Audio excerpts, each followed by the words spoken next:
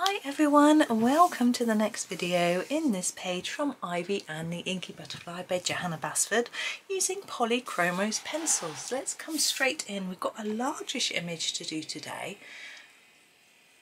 We may not do all of it though because I'm just looking.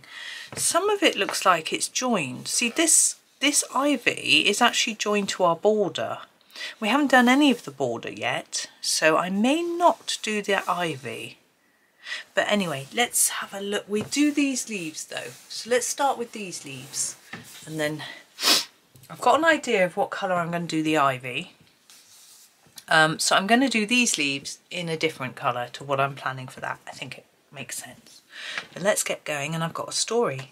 Remember I promised you yesterday. I'm going to start with a chromium green opaque and do the the ends of these, this end. I'm just going to put a layer down here, look.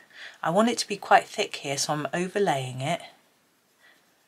And then less layers, a lighter touch to there.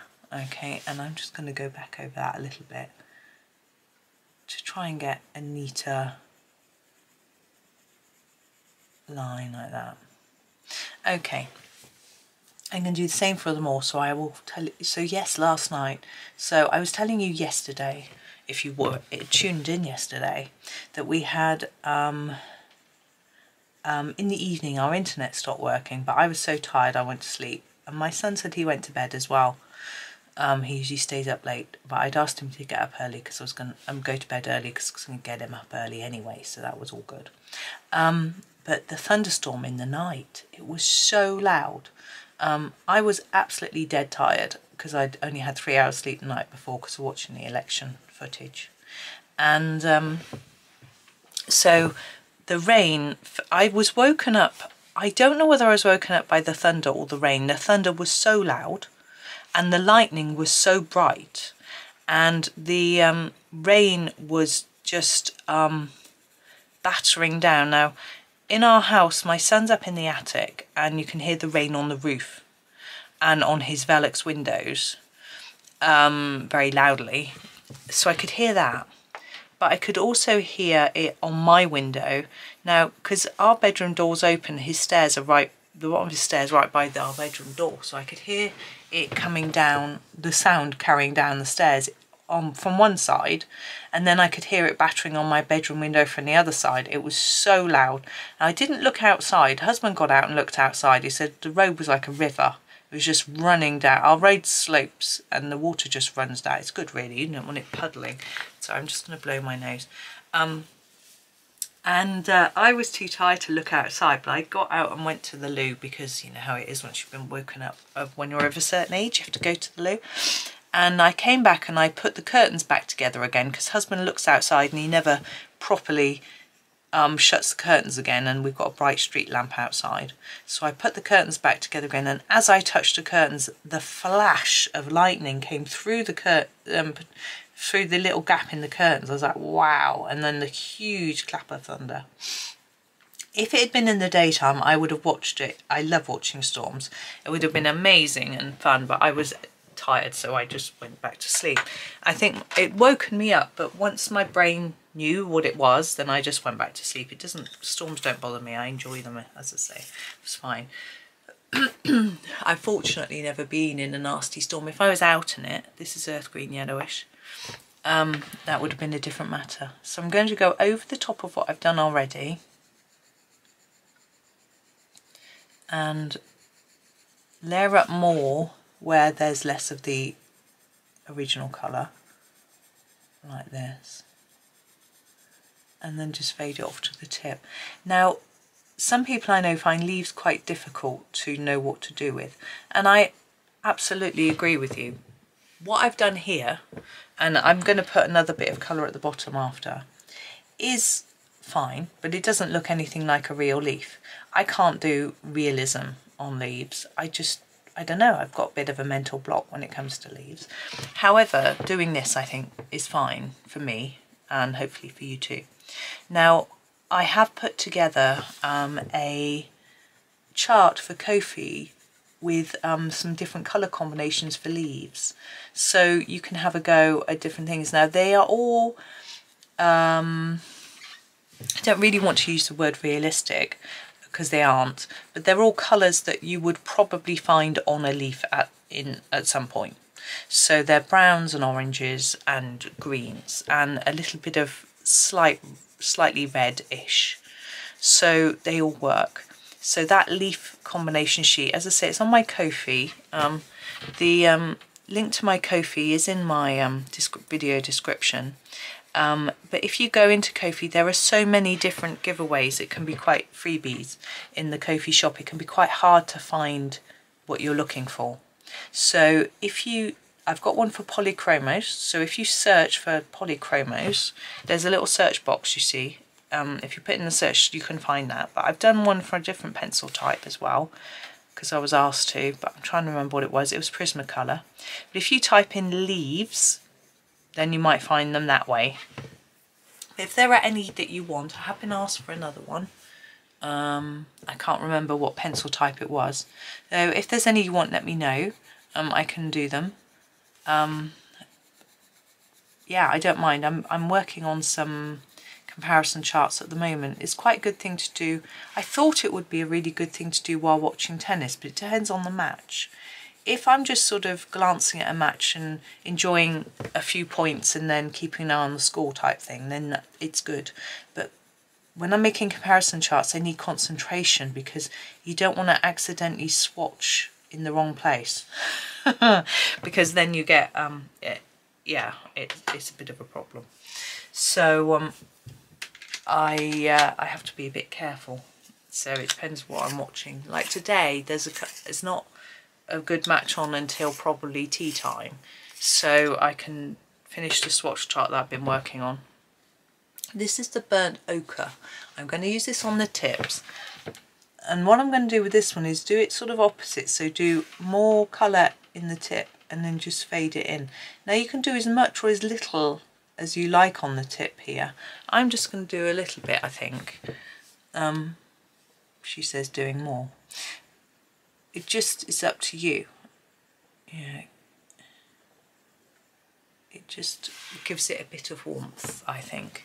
You may struggle to even see it. Depends what side. I mean, I'm struggling to see it on my on my camera screen, but my camera screen is about that big. Um, so it's about the size of this. So it's really hard to see. But uh, if you're watching this on a huge widescreen telly, you probably easily see it. And every mistake that I've made. I do, I had to have someone saying, you know, you can see all your pencil marks and it's not very neat and all that sort of thing. And I'm like, I know. But um, it because I zoom in very closely, it's never going to look as good as if you stood back and looked from a million miles away. Um, because close you know, it does show up every pencil mark. And some people can, you know, spend so long on their work that you can't see any of the pencil lines and it looks perfectly neat. But I just don't have that patience. And I hope that by being close and you seeing that it's not absolutely perfect, it gives you a license to do the same thing. You know, it doesn't have to be perfect. It should be fun. Now, where should we go next? I'm probably not going to do this ivy, as I said. I've decided I'm going to do it all together with the other ivy that's all round, say, here, and then at the bottom of the page. I can't show you because um, it's off the page. So I'm going to, we've got the bird and butterfly and background. Um, now I've got, I can do a sort of fantasy, brightly coloured bird, or something more um, normal, maybe in browns or something like that. I'm trying to have a little think. I think I'm going to do shades of brown, but lots of shades of brown. I, I just fancy, whoops, doing it that way. I'm quite cold. I'm tempted to go and get a cardigan. Um, this is brown ochre. It is the, is it the 6th of July today? I think so. Is it the 5th? I know. Yeah, it's the 6th of July today recording this. So for this bit on the head, I'm going to start to fade it there and then put a bit more here. So you can see I'm just layering it up and a bit less there. So we've got a sort of lighter and darker areas. Now I'm going to move to my next brown right away and I might have to come back and use some of the same browns after. This is the Bistre. It's quite short, this one, isn't it? I'm just going to do it here. Um, yeah, so it's the 6th of July. Why did I say that? Why was I telling you what the date was? I've got no idea. What's the matter with me? Uh, here is the raw umber. No, there's a yeah, there's a football match. England are playing in the European. It's um for you Americans, it's what you call soccer. What we used to call soccer back in the day, but now we call it football interesting. But anyway, um, yeah, it's, uh, I think I do it darker here as well. Um, yeah, so England are playing um, Switzerland, that's right. Burnt sienna. Husband was watching last night. Um, because the burnt sienna is a, quite a different brown to the rest, I'm going to use it for a few little bits. So here I'm going to make it darker here a bit lighter across here. Um, yeah, last night um, France beat Portugal. You know, it's a big shock because Ronaldo, I don't know how many people know about football, is Portugal's big star. But the problem is that it feels like sometimes he's their only sort of star player and he's getting older. He missed a penalty the other day, which was, uh, he, he cried. Um, but uh, I feel like, you know, the team needs to, they need to come up with some new players, really. But anyway, I'm obviously an expert. Van Dyke Brown. I'm going to use that for this big area here. So what are we going to do with this? I think I'm sort of guided by these dots that maybe this bit is darker all the way along here. So I'm going to sort of layer up this bit. Yeah, and then the French player, he's got a He's broken his nose, but he needs an operation, but he can't have it because then he wouldn't be able to play. So he wears the sort of mask to protect it. And England are being criticised because they're playing so badly, and yet they topped their group stage and um, um, have won won their next match. So I think they played a knockout match yet. I don't know. Anyway, I don't think they have. So, you know, I don't know enough. I thought they were all right. But anyway, did better than I could, that's for sure. Just fiddling around with my pencil, sorry. Right, the next one we're going to use is the Nougat. This is a nice new one.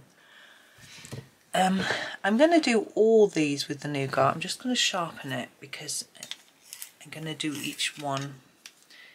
You would have seen me do this before. I don't know why I haven't done his face yet. Are you thinking that? I was just thinking that. Why haven't I done this? I don't know. So in here and then left.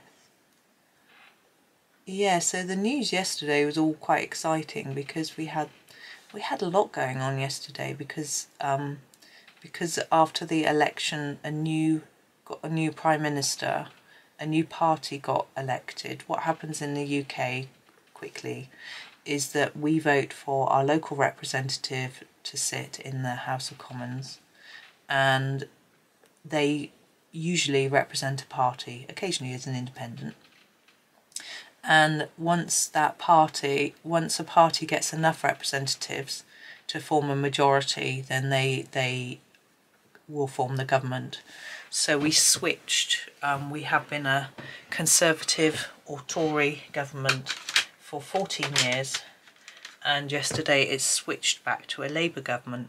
Um, 14 years ago we did have a Labour government so um, you know we've had one before but obviously um, burnt umber it's not the same. I'm going to do the face with this. I don't know what I'm going to do with the face I'm going to put a light layer all over. So we've you know it's a different leader now to the party than it was, different, lots of different people. So uh, I think I'm going to do it darker at the bottom and just fade it up. Um, so it'll be, so we've got lots of new MPs that have never sat as MPs before and some old ones that got re-elected. Or ones that maybe were in Parliament a while ago and have come back, that sort of thing. Walnut Brown, and we've got a new new Prime Minister, um, Sir Keir Starmer, and we'll find out. I mean, it's always a bit difficult because, you know, we, he's never done it before, so we don't know what to expect. And there's so much expectation. And, you know, I think the, the new party will come in saying, we want to do this and change this, and putting a bit of shadow under the feathers here. But because they've never been in charge before, they haven't had access to an understanding of how all the systems work in the country. I mean, some of the people in their party may have done because they may have been around for a long time when they were in charge before. But it's easy to say we want to change this, that and the other, but until you know how those things work, you don't necessarily know whether it's possible to change them. So it will be interesting to see. For the feathers, I'm going to make it dark here and fade it towards the middle and then dark here and fade it towards the middle like that and have a sort of hopefully make it look like it's got a bit of a lighter bit in the centre I'm going to just like that. Um, so we don't know whether they're going to be able to do what they say. Obviously I'm sure it's the true in all countries. They make all these promises saying we're going to when we get elected we're going to do this that and the other. But either world events influence the country so they can't necessarily do everything they wanted or it's just not as easy as they wanted or there isn't the money to do it, things like that. I don't necessarily castigate the people in charge for going against what they've said they're going to do because I realise that it just isn't always possible. If they downright lie and promise something they know they can't do, that's not on. But I think sometimes they have said, we're going to do this, and then they go, oh, whoops, we can't. I'm going to go back to, oh, the Bistre. Remember the Bistre we used just for this really teensy bit here? I'm going to use it for the tail. So, you know, it's not always possible to do what you say you're going to do. But, well, I'm just waiting to see, really. You know, I haven't been an, a sort of avid observer of politics for that long, really um, I wasn't always that interested in it. So I don't really remember, also not really having the time. So I don't really remember what it was like when we had the last Labour government, really, even though I was old enough, for 14 years ago, you know, it wasn't that long ago. It feels like a long time ago. So I'm just interested to see, and also this this Labour Party is going to be a bit different to the last one that was in. As I said before, there's different people in charge, there's different people in there. Some of them will be the same. So, you know, we'll see what happens. And we've got a new representative in our town as well. Um, so it'll be interesting to see what sort of things he decides to get behind and try to influence in the town because they have a certain amount of power. I'm trying to make it a bit darker at the bottom but it's not working. I'm going to put another colour on top. I'm going to use the brown ochre and just put it here, just try and make it look a bit shadowy on the bottom. Um, yeah, he has different projects that he's interested in compared to our last one. Um, she was interested in sorting out um, the railway station access, the a particular building that was derelict, she wanted to get that sorted out. She was, um, there was another big project, I was just trying to help her a skateboarding um, place that had closed down and something else I can't remember. So she had those projects. He's not a, he's not interested in any of those projects as far as I can tell. I'm using the warm grey 5 now to do the body of our little butterfly. Um, but he's interested, he's a GP. Uh, he says he's going to work, still work half a day a week. I don't know how he's going to find the time to do that. But anyway, um, he's um, he's so he's interested in. I'm going to do the butterfly orange because I think orange and brown works nicely together. Um, and I like orange butterflies. This is dark cadmium orange I'm going to start with. And he wants to help get more free dentist, well it's not free, NHS, the National Health Service have dentists. Um, we've got one in our town and it's fully booked. I'm very lucky to be a patient. Once you've booked as a patient, you can stay with them. But if you're they're not taking on new patients, this is cadmium orange. There are private dentists as well, but they're much more expensive. For example, NHS dentist to have um, a checkup, I think it cost me £35 and to have the hygienist cost me £55. When I was living in a different town and I had a private dentist, I remember having a checkup and hygienist and it cost me um, a hundred pounds and that was like 30 years ago. This is dark cadmium yellow and finish off our butterfly. So it's quite quite a difference. Um, so the it's much cheaper. Although the um, I still have to pay a bit. There's no such thing as free dentistry for most people here now. If you're on um, certain benefits, um, I think you can get a, a free um, sort of treatment card. Um, now, background. I want to do this as if it's sky. Now, we've done a sky one on our house before. Um, I'm going to do this one in a different shade of blue. And I'm just going to start and see where it takes me. So I'm going to get the light phthalo blue and I'm just going to do it all over and just see how I feel about it. Um, yeah, so there's children until they leave full-time education up until the age of 19 can get free dentistry. Mine will get it this time, but that will be the last time um, when they have their checkup. And then I'll have to start paying for them until they get a job. Um, if you're a particularly low income family or on certain benefits, you can get an exemption certificate. You get it free. And that also applies to eye tests. Um, eye tests you can get free if you're diabetic. If you, I think, if you have a family history of glaucoma like I do, my dad's got it, um, or if you're of a low income, again, you can get free eye tests and free prescriptions. My son gets free prescriptions because he's got epilepsy. Get, uh, people with epilepsy get free prescriptions. Um, I think people with diabetes might, but um, other people don't. My prescriptions are quite good really because they cost about £10, £9 and you can only have one item, that's per item on the prescription. But compared to the cost of the actual drug it's a lot better. And so occasionally medication is cheaper than the prescription cost and your GP will usually tell you as I've had I, I have a bit of medication and my GP says if you gosh that was a loud train if you um if he said to me, if you go to um, um, ex-chemist and buy their own brand of this, then it's cheaper than having it on prescription. So uh, I would recommend you do that. And he wrote it down for me what I needed, so I made sure I got the right thing. And I just took it to the pharmacist and said, can I buy this? And that was all good. And now I just get it all the time. I don't have to bother going to the doctor and you know it's I have been back because it does say on it you shouldn't take it for more than 30 days without consulting your doctor. But I went to my doctor and said look I've finished taking this. My symptoms have come back. He's like yep you have to take it for the rest of your life. Off you go. I was like okay.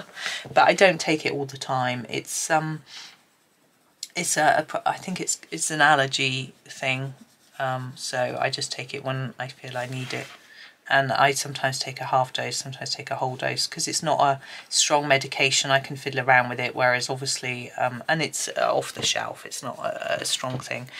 Um, whereas, um, you know, obviously, like my son's medication, he if he forgets to take it, we have to tell our doctor immediately. You know, it, it's much, uh, much, uh, a much different type of medication, which we're going to try and get him off actually because it's oh, it's, it's messing with his head. Literally anyway different different story. But um, anyway um, so that's how our sort of free but we can get we get you can get a free GP appointment and uh, which is good but waiting times are quite long.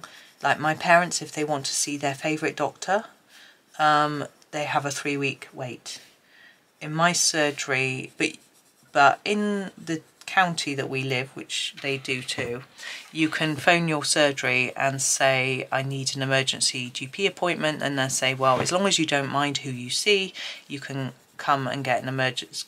In my, in my practice, you they'll call you in they'll say okay come in at x time after the morning surgery or after the evening surgery is finished and just sit and wait and as soon as the doctor becomes free they will see you so you just sit and wait. So you have phoned up first or you can go in in person and you just sit and wait for an appointment. So that's rather good. Um, and it's all free, you know. So uh, that's what we're trying to protect. The And that's what the new government are promising, that they would improve this because in some regions you can't do that. You phone up, they have a certain amount of emergency appointments and once they're filled up then they're gone and that's the end of it. You can't get one. You have to wait and try and get one the next day. And uh, it's a really weird system. Presumably it's because they just don't have the staff. A lot of GPs don't work full time. Um, I rather like this just being quite plain. I'm just going to go back through it and colour over some of the areas that I think are a little bit messy or pale. But I'm not going to make it darker. I quite like it as it is. so uh, yeah, they're trying to just improve systems, but apparently our county is in the worst 10% of all um, NHS areas, although we seem to be able to see a GP when it comes to um, going to hospital, the A&E is just appalling you know, I went there with my son quite a while ago and it's getting worse. And we waited five hours before anyone even assessed him, you know. I mean, we did go in by ambulance, so the ambulance crew had assessed him, so they knew he was okay, but they didn't even come and take his blood pressure or assess him and decide what sort of um, help he needed before for five hours, which is a long time to wait. Um, I was just patient and waiting because it's not the staff's fault, you know. Um, there's no good getting cross about it. They can't do anything about it, but um, it needs to be improved, but obviously from higher up. Anyways, I am going to leave this. So obviously I haven't done the leaves, but I'm going to, what I think I will do is actually come back tomorrow and do all the leaves, all the borders and leaves. And then on the last day would do the one below the bird if that makes sense. So because then we'll sort of finish this one off because it looks really unfinished. But that's you know that that's because of the way I've done it. So yes tomorrow I'm going to come back and do all the leaves um, the borders and then we'll have one final picture. So I hope that is okay. But thank you um, for watching. Um, hope you have a really super day and happy colouring